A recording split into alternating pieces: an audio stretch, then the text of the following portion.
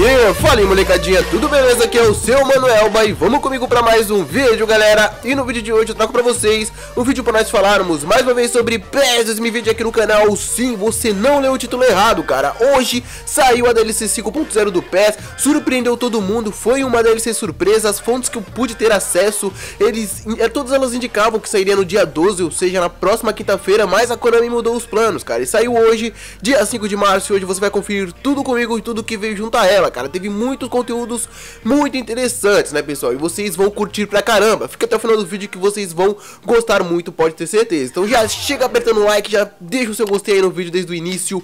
E também não esqueça de se inscrever aqui no canal pra não perder nada, velho. Você vai ficar por dentro de tudo que sai, tudo que rola, da DLC 6.0, da DLC da Eurocopa, do PES 2021. Então se inscreve aí abaixo, meu parceiro. Então vamos lá, vamos sem perder tempo, vamos falar o que temos pra hoje. Só lembrando, me segue lá no meu Instagram, que agora eu estou voltando a utilizar com muita frequência e é bem importante vocês me seguirem lá porque eu sempre vou adiantar tudo que vai ter aqui no canal lá. Então se você me seguisse lá já saberia alguns conteúdos que, vi, que vieram, né, com a DLC 5.0. Então não perde tempo, me segue lá, tá aqui no primeiro link na descrição, beleza?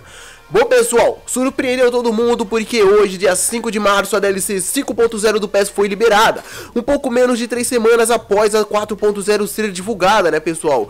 Quatro, simplesmente 3 semanas depois, a 5.0 já veio no embalo. Normalmente essas DLCs costumam sair de 2 em 2 meses, né pessoal? Com um período de 2 meses de diferença. Mas essa não, essa simplesmente veio e com muita antecedência, muito mais rápido, muito mais prematuro do que todos nós imaginávamos. Incluíram sim alguns conteúdos interessantes. E hoje nós começaremos a ver eles aqui. Bom pessoal, simplesmente a DLC que saiu hoje não incluiu nada mais nada menos do que algumas faces, algumas novas lendas e também algumas correções, pessoal. Que eles, já são as DLCs que estão preparando o jogo para receber o pack da Eurocopa, né pessoal? Então podemos ver que ao contrário do que todos nós esperávamos também, não foi a DLC da Eurocopa, não incluiu os conteúdos da Eurocopa, né pessoal? Eu adiantei para vocês isso antes, que isso não aconteceria, mas todos nós pensávamos que no começo a DLC 5.0 realmente seria a DLC dedicada para Eurocopa. Então o vídeo hoje pode ficar curto porque não temos muito muitos conteúdos, então vamos começar a falar as diversas correções que foram feitas na DLC, né pessoal? Inclusive dos times da AFC Championship 55 faces e também alguns uniformes corrigidos, né, pessoal? E vocês primeiramente estão vendo algumas correções que foram feitas em quesito jogabilidade e na gameplay, pessoal. Vocês estão vendo aí, vamos ver o que a nota oficial da DLC diz, né, pessoal? Um novo arquivo de atualização, que é o pacote de dados 5.0, DLC 5.0 e correção 1.5 foi lançado em 5 de março. Os detalhes são o seguinte, adições e atualizações. Tivemos uniformes novos barra atualizados, também tivemos modelos de faces que foram atualizados. Então não tivemos chuteiras, não tivemos estádios, não tivemos luvas ou bolas ou coisa do tipo. As correções. Um erro em que informações de jogadores de clubes da AFC Champions League não eram exibidas corretamente. As informações afetadas incluíam características, habilidades, estilos, táticas ofensivas e também tática defensiva. Outro erro também, pessoal, que ocorria quando alguns olheiros da lista de desejos não apareciam depois de usar o comando adicionar à lista de desejos, durante uma simulação de recrutamento com diversos olheiros, isso no MyClub. Outro erro também, pessoal, em que as instruções avançadas não eram salvas corretamente ao disputar eventos do Match Day que usassem sim times predefinidos. Outras atualizações que foram feitas, pessoal, que também tivemos uma variedade de ajustes menores que foram feitas nos modos para melhorar a experiência geral do jogo. Então tivemos alguns ajustes feitos na gameplay, na jogabilidade até nos modos de jogo, né, pessoal? Mas isso foi bem pequeno mesmo, né, pessoal? Então, essa DLC se baseou a melhorias nos uniformes, novas lendas também, que são lendas muito interessantes, cara, vocês vão se surpreender, e também algum pack de faces, sim, pessoal, e também tivemos a nova face do Neymar, velho, que eu vou mostrar pra vocês, mas primeiramente vamos ver a lista de novas faces que foram incrementadas, pessoal, vocês estão vendo aí na tela, pessoal, de seleções só tivemos do Marrocos, que é do Hakimi, né, pessoal, isso realmente bem interessante, bem curioso, porque não tivemos nenhuma face nova de alguma equipe que disputará a Eurocopa, velho. E isso é bem estranho. Mas eu acho sim que no caso, essa, hack, essa National Team são jogadores que apenas jogam por suas seleções e não estão presentes em nenhum time. Em nenhum time, né, pessoal? Porque aí no meio tem jogadores sim que fazem parte de suas seleções, porém estão sendo representados pelas suas equipes, né, pessoal?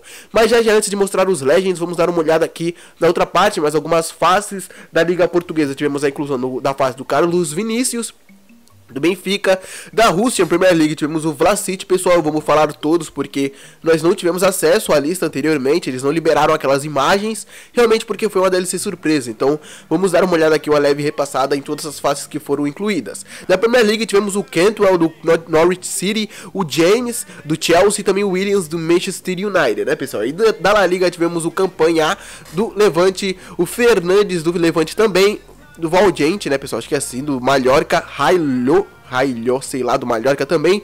Dani Rodrigues também do Mallorca, capa do Atlético de Bilbao.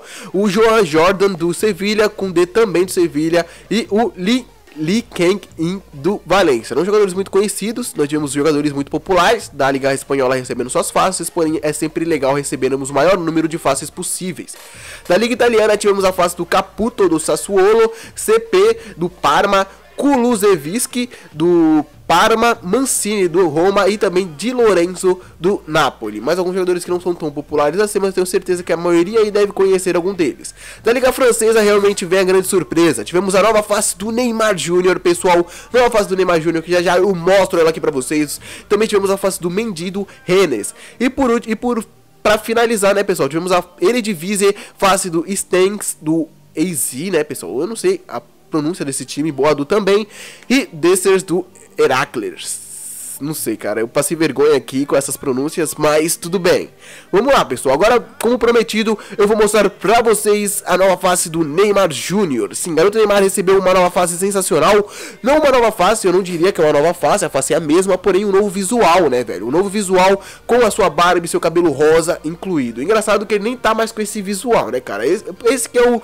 Mano, esse que é o tiro no pé de sempre incluir um visual novo pro Neymar. Porque a DLC saiu hoje, incluiu o novo Neymar, o novo visual pro Neymar, mas o Neymar nem tá mais com esse visual, né, cara? Isso realmente quer a bola fora, que sempre acontece quando alguma, tanto o PES quanto o FIFA lança o novo visual pro Neymar, acontece que quando eles lançam, né, pessoal, como vocês sabem, a DLC realmente é preparada com muita antecedência, então vai ver que quando eles fizeram essa face, esse cabelo ele ainda estava com esse visual, né, pessoal? Acontece que agora ele não tá mais, ele tá simplesmente carequinha, mas eu talvez, né, pessoal, era só tirar esse cabelo rosa, manter a barba, manter a cabecinha careca, que ia ficar muito bacana, né, velho? Mas sim, realmente é bem legal ter uma atualização. A face do Neymar, tal que não recebeu uma atualização desde o PES 2019, né, pessoal? Então é bem legal legal termos uma nova face para o menino Ney.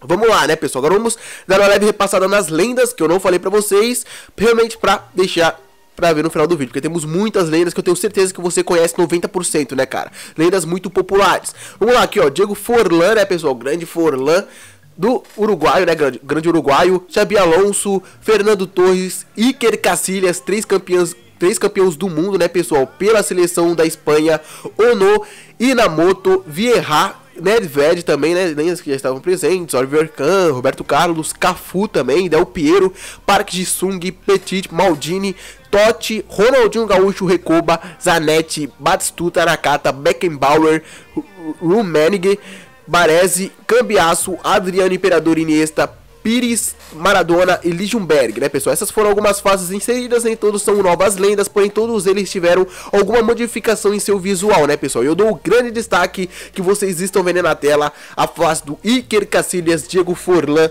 também do Xabi Alonso, também do Fernando Torres, né, pessoal? Que ficou muito da hora o Fernando Torres rejuvenescido com uma tatuagem no braço esquerdo, Inamoto e também o Ono, dois japoneses, né, pessoal? Que também receberam uma atualização, isso é muito bacana, cara recebemos sim campeões do mundo, né, pessoal? Da, pela seleção do, da Espanha. O Iker Casillas, que eu acho que não tem nem um ou dois meses que anunciou sua aposentadoria, já chega como legend, né, cara? Isso é muito bacana. Eu vou dar um destaque para o Fernando Torres também, que ao verem a, a face deles, vocês percebem que é 3D skin, né, pessoal? Ficou muito legal a face do Fernando Torres, né, pessoal? E agora eu vou falar um pouco por cima e vocês vão ver mais algumas faces que foram inseridas. Já que a Konami não liberou as faces anteriormente, que eles costumam fazer, realmente por eles optarem por lançar essa DLC de surpresa, ninguém sabia, né, cara? Eles simplesmente chegou o dia, eles liberaram. Então, não, então eu vou mostrar pra vocês algumas faces, né, pessoal? Que tá passando aí na tela, que eu vou Vamos dizer que eu vou conseguir colher após eu gravar esse vídeo, então tá passando na tela algumas faces, eu vou tentar falar por cima. Bom, pessoal, eu ainda não joguei essa DLC, eu ainda nem tive a oportunidade de baixá-la, porque eu não sabia que hoje sairia a DLC, então eu não me programei para receber essa DLC que nem eu sempre faço. Sempre que a DLC tá pra sair, eu na madrugada vou lá, ligo meu Playstation e deixo ela instalando, para quando eu chegar em casa já poder testá-la. E isso não aconteceu, né, pessoal? Simplesmente eu saí de casa, olhei o meu celular e a DLC simplesmente já tava aí para todo mundo baixar, né, pessoal? Então, eu ainda não consegui testá-la, eu não vi se teve melhorias na jogabilidade, é simplesmente a nota oficial que eles liberaram já li para vocês no começo do vídeo, então algo mais do que isso nós teremos que perceber a olho nu, né, pessoal? Então, caso, fora do que eu falei pra vocês no vídeo de hoje, eu perceba mais algumas outras mudanças, melhorias ou coisa do tipo, eu irei trazer em um vídeo futuro. Quem sabe ainda amanhã, se eu puder perceber mais alguma coisa realmente de impacto que eu não tenha falado nesse vídeo. Mas eu acredito que realmente o principal eu falei, né, pessoal? Não foi uma DLC tão completa assim, realmente era de se esperar, porque sair três semanas apenas depois da 4.0 não dava pra esperar grandes conteúdos inseridos. Eu esperaria mesmo que eles lançassem e esperassem um pouco mais pra liberarem e trouxessem algum novo estádio ou coisa do tipo, mas infelizmente isso não aconteceu. É, bom, segundo o que temos de informação, a, é, o PES 2020 irá apenas até a DLC 6.0, né, pessoal? E a informação que eu pude colher do Renan Galvani é a seguinte, né, pessoal? Vocês estão vendo na tela o que ele diz. Diz sobre a DLC 6.0, que realmente fala, pessoal, que a DLC 6.0 sairá, está prevista sair daqui a apenas 14, 14 dias, né, pessoal? Então talvez seja no dia 19 de março. Então, como assim, cara? Receberemos duas DLCs no mesmo mês? Cara, algo inédito que nunca havia acontecido anteriormente.